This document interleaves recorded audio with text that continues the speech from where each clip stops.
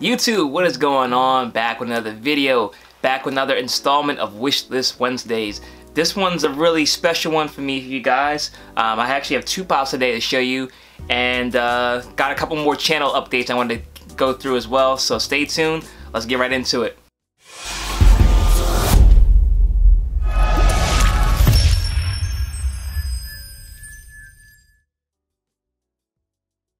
Alright guys, before we get into this video, please smash that like button down below. Let me know you guys enjoying these videos, and as always, if you're not already subscribed to my YouTube channel, hit the subscribe button down below as well so you're updated to my most recent content, and hit the bell notification so you're alerted as soon as I post a new video.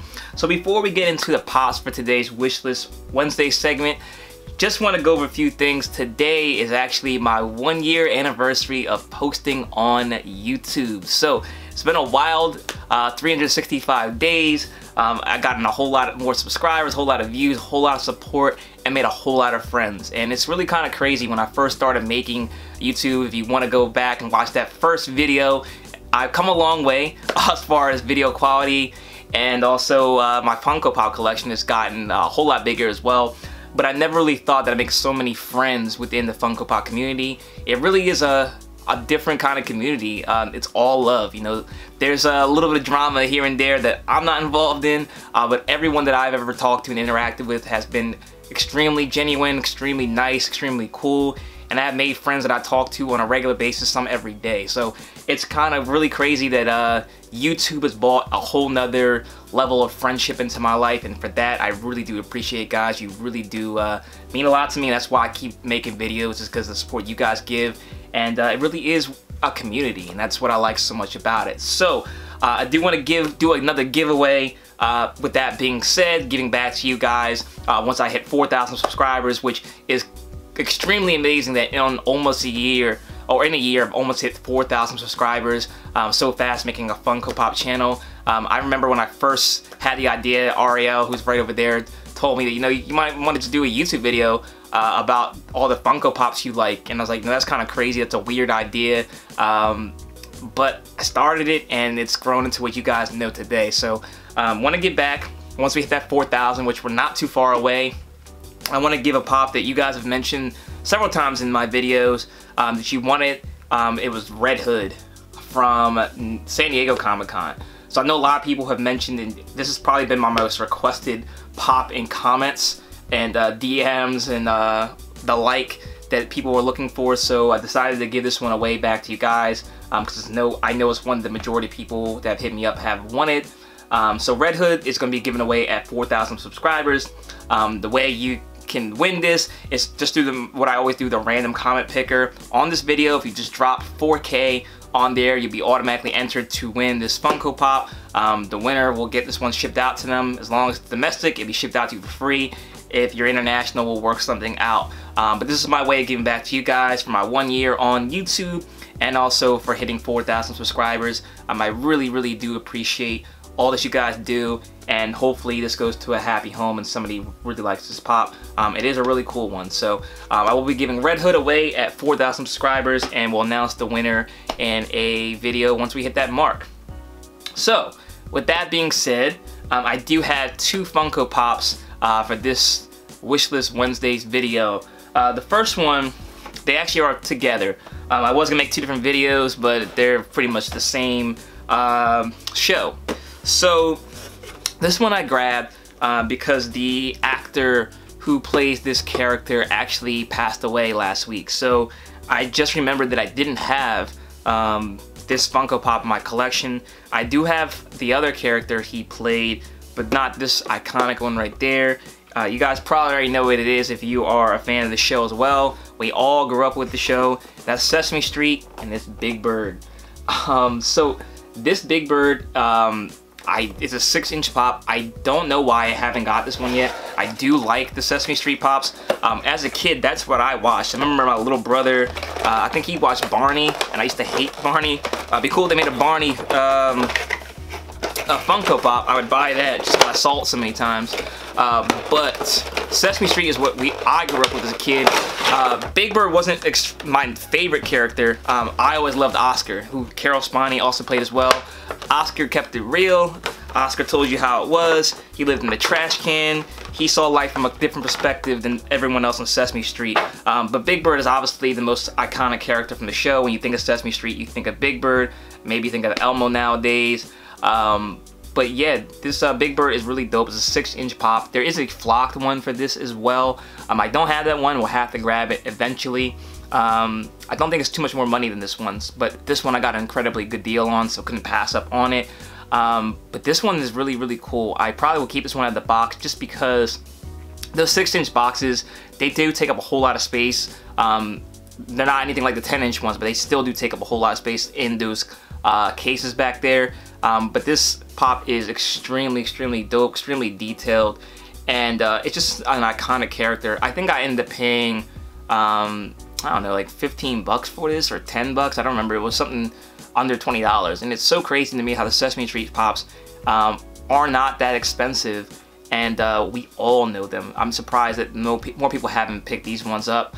Um, I do believe this is vaulted and I don't, I've never seen it in stores. Um, that's pretty much the reason why I have never gotten it. If I seen these in stores, I'd have picked it up right away.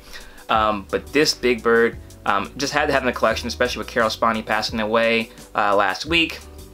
It kind of reminded me that it didn't have any, or didn't have as many Sesame Street Pops as I like.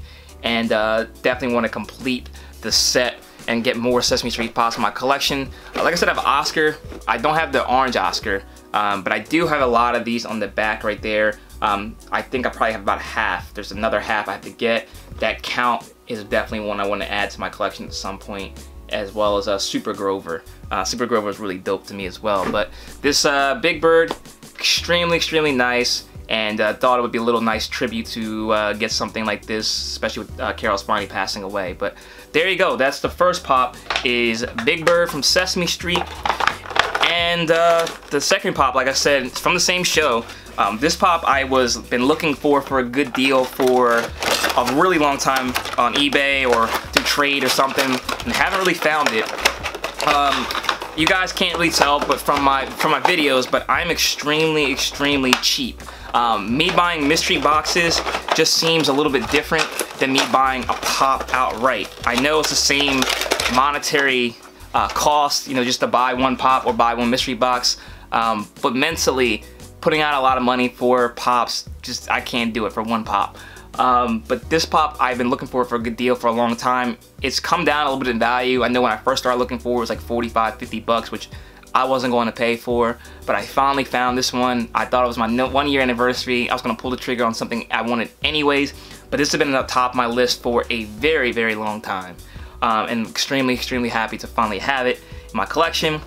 And that's the Flocked Cookie Monster from New York City Comic Con.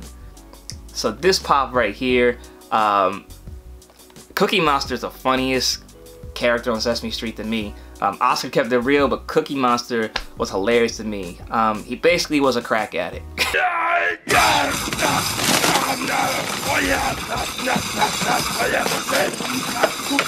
cookie, cookie addict. I mean, he uh, he couldn't resist cookies no matter what.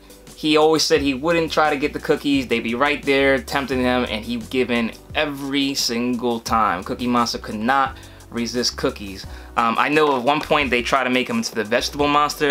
I don't know if he still is the vegetable monster or he just doesn't eat cookies as much, um, but I'm not here for that. I'm here for Cookie Monster destroying cookies at any single point he can. Um, and he's still funny today. Like I went back and watched some old uh, Sesame Street um, clips and Cookie Monster ones still are pretty funny to me.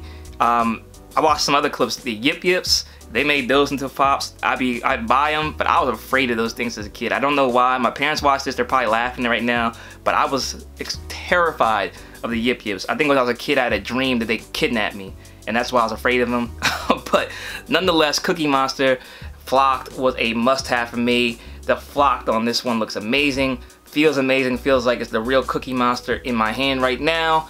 Um, but yeah, this one is extremely, extremely dope. Um, you know, it's, it's, it's crazy. Like a lot of people always ask me or comment like, why do you like this or why you like that? You're not in the Star Wars, you're not in the Marvel. Like, how could you not be in the Marvel or Star Wars?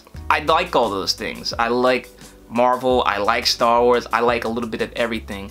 Um, the point of this uh, whole segment is to show you guys what I really like and what I really remember And a lot of the pops back there, like I always said, is nostalgic things. Um, you know, the Black Panther I like, but it just came out last year. You know, I like remembering or like buying things that remind me of childhood and then things of certain points in my life. And uh, Cookie Monster definitely is that. Cookie Monster, uh, something, somebody we all grew up with, somebody we all grew up with, and uh, yeah, he just uh, so dope as far as a Funko Pop as well. Um, I don't know if I'll ever get the um, a regular Cookie Monster because this flocked one is just so so dope and uh, this will be kept in this box in a protector in a safe place for years to come. Um, this is one of my favorite pops in my collection. Uh, it's Cookie Monster Flock. It's today's Wishlist Wednesday grail right there. So, drop down in the comment section below what you think of these two pops. If you're interested in winning that Red Hood, drop down 4K down in the comment section down below so you can be entered to win that pop right there. And just again, thank you so much for your support, guys. It's been a crazy year for me. Um, hopefully next year is even better. More things to come. I'm not going anywhere. A lot of people have asked me about uh, COPPA, COPA, whatever it is. I don't make videos for kids, so it doesn't really apply to me. So that's the quick and short answer to that. I'm not worried about that at all um, because I don't make videos for kids. I may unbox kid things from time to time, but like I said, Cookie Monster was a crack addict. That's an adult issue. That's a serious issue that we need to address. It's not a kid thing at all. So, let me know your thoughts. Thank you for support. 4K down in the comment section down below. Until next time, I'll see you guys later.